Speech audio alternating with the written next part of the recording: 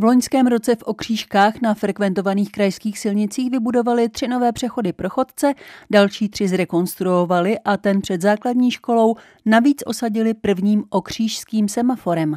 Protože jsme tady na silnici 2 lomeno 405 mezi Třebíčí hlavou, která je velmi frekventovaná, je tady někde kolem 4 až 5 tisíc aut denně. A samozřejmě chodí tady děti do školy a taky seniori do jídelny, protože děláme obědy pro seniory. Takže se sem dal světelný semafor, první v okřížkách. Bohužel ne všichni úplně využívají tak, jak by se měl. U tohoto semaforu se předpokládá, že chodec musí stisknout žluté tlačítko s obrázkem ruky.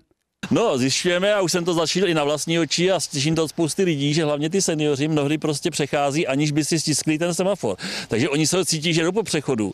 Jen samozřejmě z hlediska řidiče, který jede a vidí zelenou, tak už se prostě nedívá po těch okrajích chodníku, nenapadne ho to a mohl by dojít neštěstí. I řidiči by si měli v blízkosti přechodů pro chodce dávat pozor na to, kde parkují a udělat to ve vzdálenosti alespoň 5 metrů tak, aby byl prostor pro všechny přehledný.